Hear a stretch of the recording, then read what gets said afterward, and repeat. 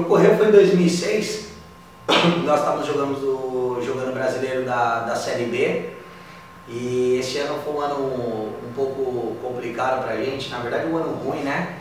Que nós tivemos ali a maior parte do tempo na zona de descenso. Qual e, time? Pela portuguesa. E estávamos aí brigando até a última rodada para não cair para a Série C, né?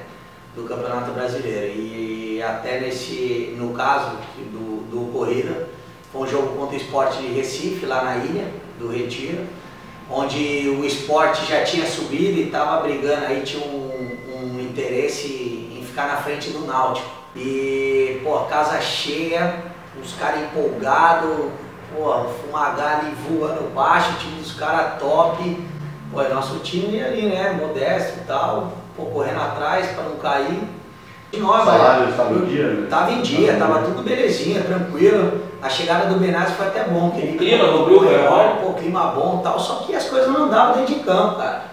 O time não ia, era modesto porque, pô, a gente não, não conseguia uma, é, uma sequência de vitórias e brigamos para não cair. O, grupo, o elenco era bacana, o grupo era bacana. Mas o, o treinador tinha o grupo na mão? Ele é um bom Tinha, treinador? Como tinha, você tinha. avalia o trabalho do Tinha, treinador? o, o Benazzi tinha o grupo na mão e até nós tivemos aí uma, uma melhora na chegada dele, né?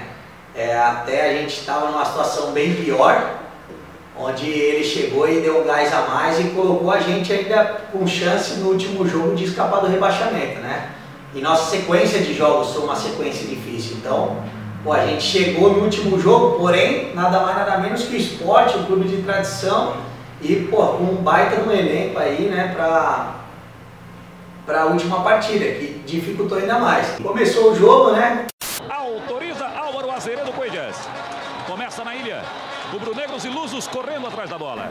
A massa gritando, corneta atrás, xixi, água voando, os caras enchendo o saco e os caras dentro de campo voando também, velho. 1x0 pros homens. Aí o Marcos fazendo o gol. Olha o lançamento. Marco Antônio na cara do gol. Ele, o goleiro bateu. Na trave. E a gente no banco desolado, né? Lascou, né? Vamos cair pra Série C, né? A, a nossa preocupação ali no caso, o jogo apertado, pressão dos caras, o time ó, até criava algumas coisas, mas não tinha, não tinha êxito. Bom, eu sei que chegou no segundo tempo, era por volta de 25 minutos do segundo tempo, tava 2x1 pro esporte.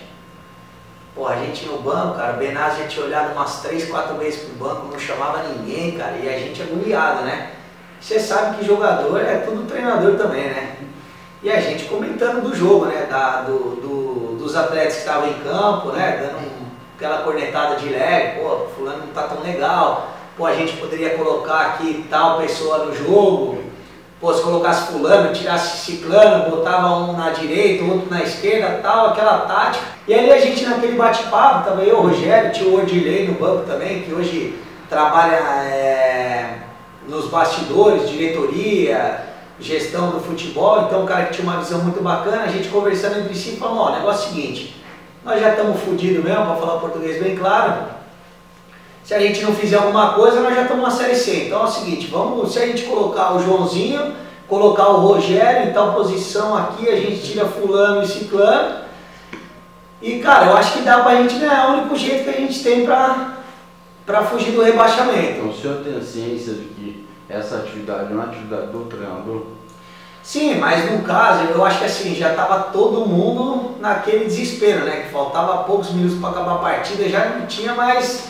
Porra, ali era todo mundo. O intuito, na verdade, era de tentar se ajudar para chegar no, no, no sucesso, né? Mas enfim, de, nesse determinado momento resolvemos então tentar ajudar o Benazzi na ocasião de, de uma melhora do time, né? Falando assim, poxa, já que, já que não estamos perdidos, vamos embora. Resolvemos as mudanças e aí ficou, beleza, vamos mudar. Aí um olhou para a cara do outro e falou, beleza, quem vai falar pro homem?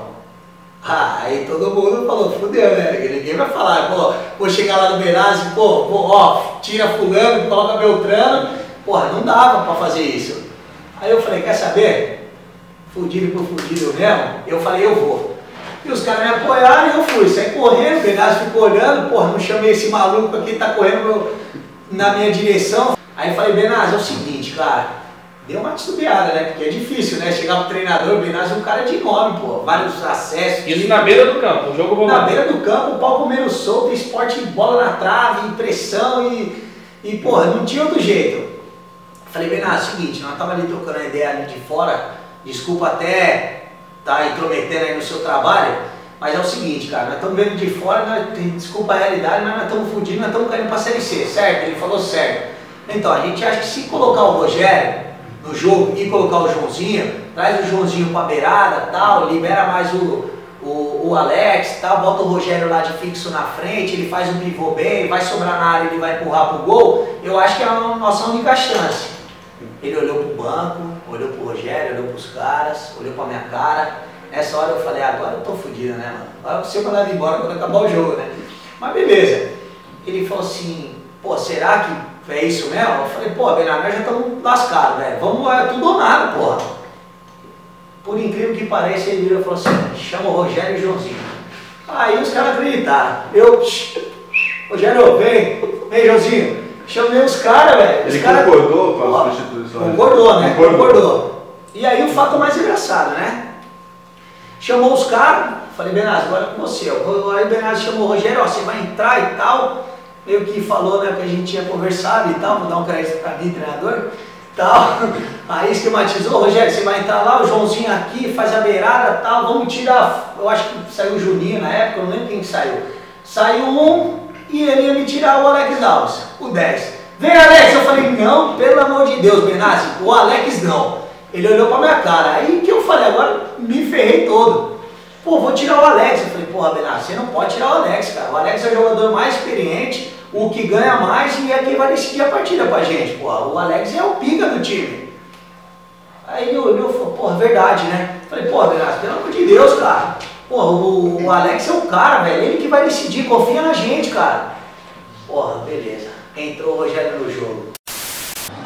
Duas alterações na equipe da portuguesa. Cereto.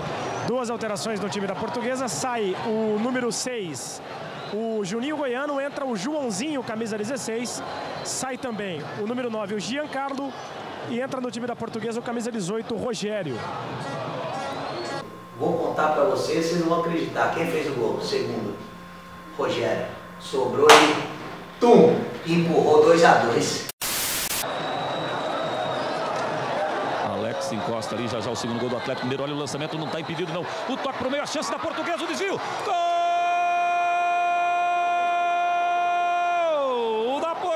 Rogério. E aí, pressão, o jogo Na, lá e na cá. comemoração do senhor Rogério, ele abraçou o Benazzi ou te Ah, abraçou? abraçamos, né? Abraçamos todo mundo aí, né? Foi uma alegria. Mas, mas na verdade, na verdade, o jogo de desespero, ao mesmo tempo que se abraçou, já todo mundo correu, porque a gente tinha que fazer mais um gol, né? A gente tava rebaixado. E xixi rolando, né? Xixi rolando à vontade, velho. O pau torando lá fora. E aí, pá, o jogo rolando, bola lá, bola cá, os caras cabeceando, pressão e a massa em cima. E aí, malandro? Aos 42, 43, pênalti pra nós. Na vontade, na raça, o time da portuguesa. Preto aqui para a esquerda. São quatro contra quatro. A inversão de bola, Wilton Goiano. Na entrada de área. Botou na frente Alex Alves. Cortou, caiu. Pênalti! Pênalti marca Álvaro Azeredo Coelhas. Pênalti para portuguesa em cima do Alex Alves. O pênalti foi legítimo? Foi legítimo, pênalti legítimo, contestado, né, pela parte dos atletas do esporte, mas total, e mesmo que se não fosse, foi legal, né, velho? Na situação que a gente tava, se encontrava, valia tudo, né? E aí, pênalti. E o xixi ainda rolava nesse E o momento. xixi rolava no momento, ainda mais, né, porque a gente tinha empatado o jogo. Quem vai bater o pênalti aos 43 minutos do segundo tempo, numa situação dessa? Ah, você só via nego virando as costas, cara, porque, pô, quem que me pega a bola? Ele, nosso glorioso Alex Alves, cara. Pegou a bola e caixão, 3 a 2 Chance da portuguesa sair da Série C. 44 minutos. Alex Alves na cobrança, a torcida da portuguesa em peso. Em frente ao Sport TV e ao Premier Futebol Clube torcendo. Alex pra bola, bateu. Gol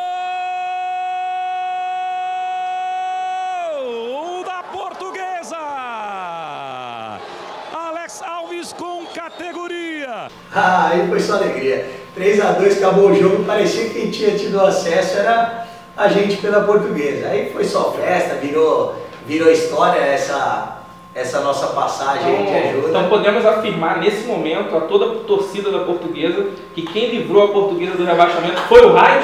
Não, não foi o Raio. Eu acho que podemos dizer que foi um conjunto, né? Digamos que foram os atletas junto com a comissão que tomaram uma decisão em comum acordo para tal feito que foi o sucesso e a vitória nessa partida. Qual foi a atitude do Benazzi após isso tudo? Pô, me abraçar, né? Abraçar eu e os caras, agradecer pra caraca, velho. Que falou, vamos comemorar pra caraca. O, o senhor voltou a jogar com o Wagner Benazzi em alguma outra ocasião? Opa, no ano seguinte nós. Pra você ver como teve bastante resultado, no ano seguinte eu fui titular absoluto aí, tipo, fomos campeão do Paulista da Série A2 e subimos da Série B para a Série A do Brasileiro. Nós ficamos em terceiro lugar, foi um ano de muito sucesso aí. E essa história foi comentada o ano todo, fizemos vários churrascos e festas aí dentro do elenco.